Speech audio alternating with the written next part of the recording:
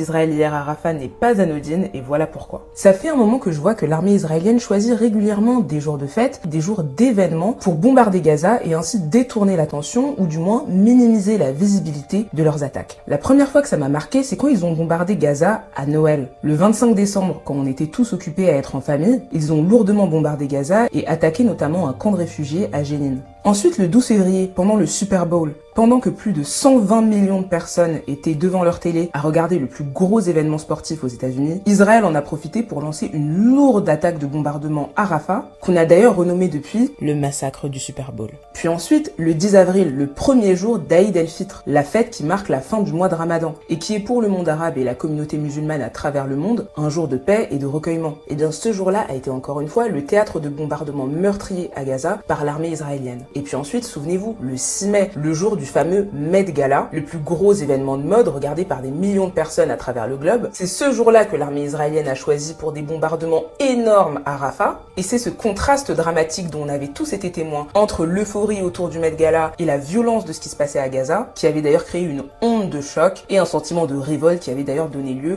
au mouvement Blockout 2024. Et enfin, les bombardements d'hier, dans la nuit du 26 au 27 mai, qui est pile le jour du Memorial Day aux États-Unis.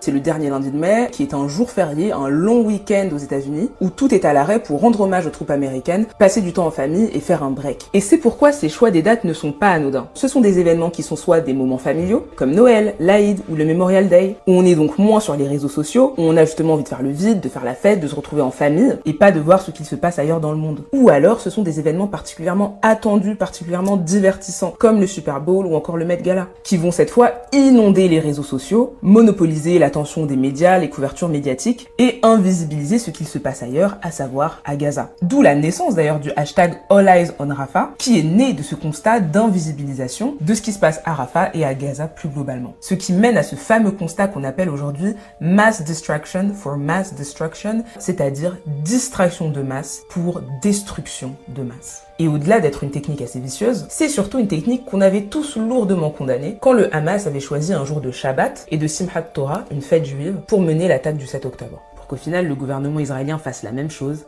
et à plusieurs reprises.